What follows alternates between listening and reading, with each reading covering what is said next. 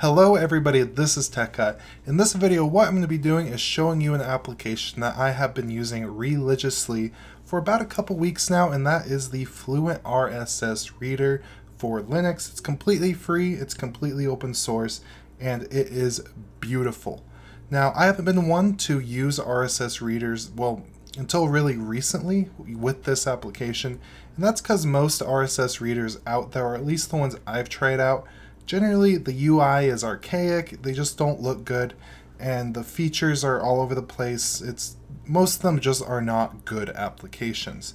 Now, this application is different. I'm going to go ahead and open it up right here.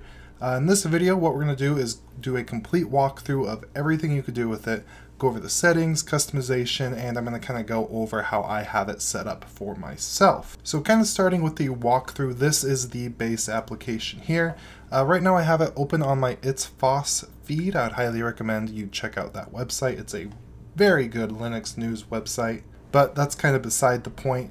Here, this is the general layout. If you uh, go ahead and hover your mouse over the actual articles, it has a really nice animation where it brings up and kind of shows you a summary or the first couple sentences of the particular article. And then when you actually do open up an article, it displays it absolutely beautifully.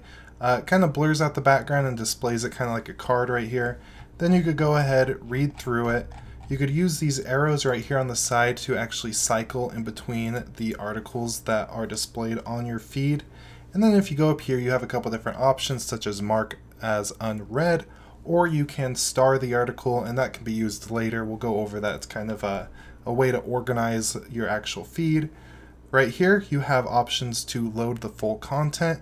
And this isn't really a good example article for this because uh, It's FOSS does a really, really good job with their RSS feeds and actually give you all the content out of the gate.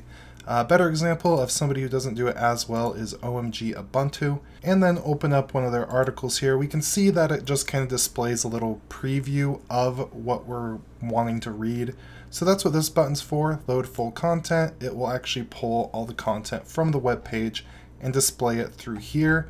Uh, additionally, you can display the web page through here. So if you click on load web page, you can see this is actually how it would look on the OMG Ubuntu website. In turn, it also loads all the ads, all the comments, and everything else that you would want to see. If you click these dots right here, you have a couple more options. You can open it externally, which will open it up in a web browser of your choice.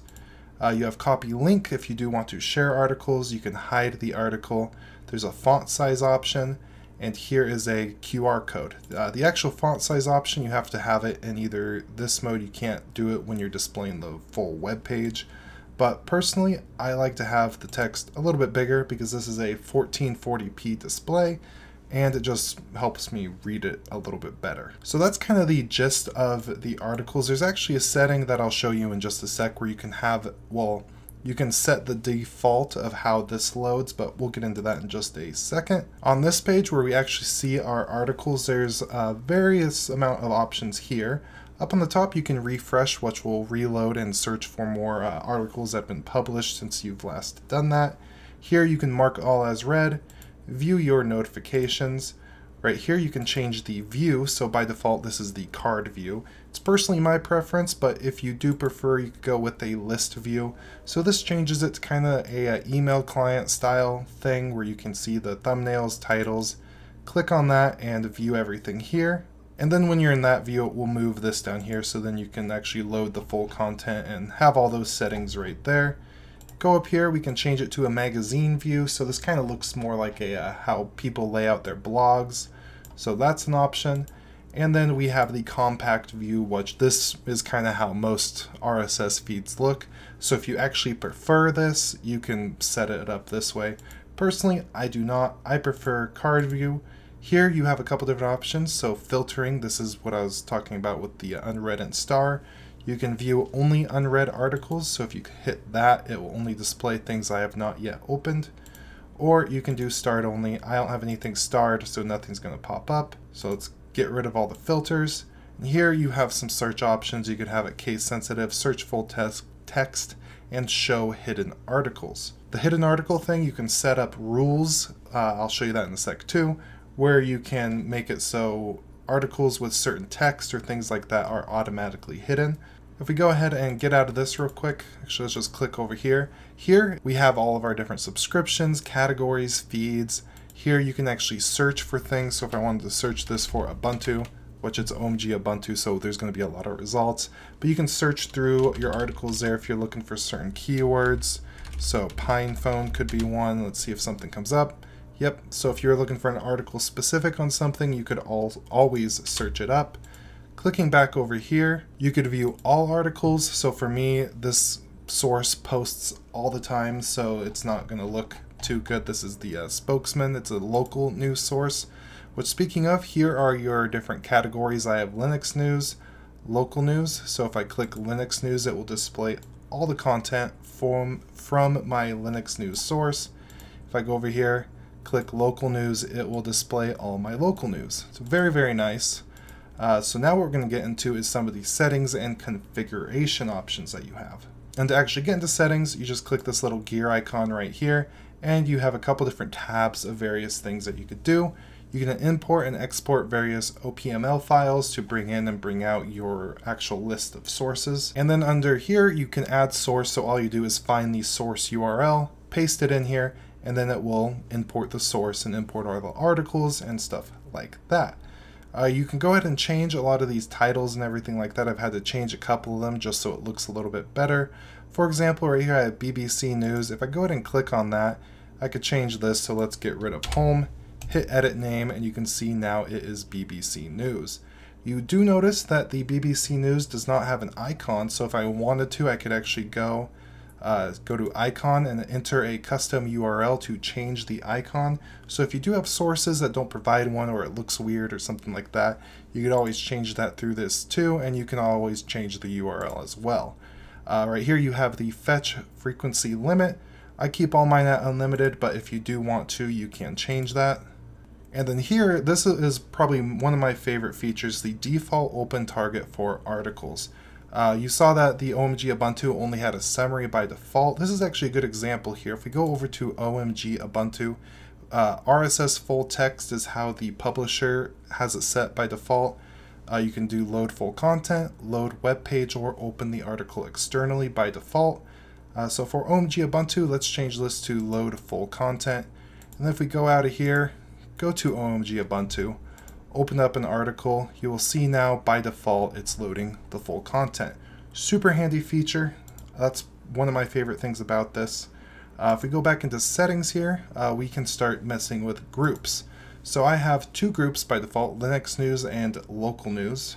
And you can see on this page they're identified as groups. Now I have BBC News here, which is identified as a source. So I actually want to make a new group. I'm going to call this World News create that group. And then it's really easy to add things. You just click on the source right here, select it. Now for the selected source, I'm going to put that in the World News. Click Add To, and now you can see World News now has one source. So if I go back over here, under World News, you see BBC News. Now if I go back over to Settings, we can get into the rules. Now this is kind of what I was talking about earlier of filtering things out. Uh, you saw me search earlier for PinePhone. Now, if I didn't want to see anything to do with PinePhone, uh, which I don't, I love the PinePhone project. And actually, I do have one coming, so subscribe, stay tuned. I will be covering that in a future video. Uh, but if I didn't want to see anything, I would just go to the source that I would like to add a rule to. It's FOSS, for example, so we can say if the title, title or content or author. So if there's like a specific author on a website that you don't want to hear from, uh, you can set that to uh, not show up, or you can set it automatically star specific articles, which is really handy. But if you, for example, didn't want anything to do with the PinePhone, you would type in uh, PinePhone, and then for PinePhone, PinePhone, for your actions, you would select like hide article and don't notify and then it wouldn't notify you anything to do with the PinePhone from this source. Alternatively, you could set it to star articles if you're really into the PinePhone. It'll automatically star any article that features or mentions the PinePhone in the title or content. So that's kind of how the rules work, and I'll actually confirm that because that's kind of a cool rule to have. Uh, you could always edit and delete rules just by selecting on them. Uh, if we go over to services, they do have a couple different syncing RSS services available, including Google Reader, Feedbin, and a few others. So if you use that, you have the availability to do that. Under preferences, this is just general system preferences. This is how I have mine set up at the moment. On this, I use the uh, light mode, which is follow system. I could switch it to dark mode too if I would like to, but I prefer to keep it at light mode. For the language, I just have it follow the system, so for me, it's English, but these are the options that you have. And then the next option is your fetch interval. So for me, it will automatically every 30 minutes go out, reload and pull any new articles that have been published. You could change that to whatever you would prefer. The default search engine for me is DuckDuckGo. We have the option of Google, Bing, and Baidu. I'm, I don't know how to say that. DuckDuckGo is what I go with. Uh, you could clean up so you could delete articles from, it goes by the week, either one, two, three, four, or delete all articles so you can delete things through that and clear your cache. Now under About, I mentioned this, but this is a completely free and open source application. Uh, so if you go ahead and click on this, it will bring up the GitHub page for the, whoa, it will bring up the GitHub page where you can view the code. It's open source, follows the free and open source principles, so you do have that, um, not the option, but that's available for everybody ultimately. Um, it's great. I absolutely love it. Down in the description, I will have all the information that you need to go ahead, download, install this. Additionally, I'll have uh, links for all the RSS feeds for kind of the Linux stuff if you want to go ahead and copy and paste those in there so you can kind of get everything set up and customize starting with some of those Linux news sources that I featured in this video. But that basically wraps that up.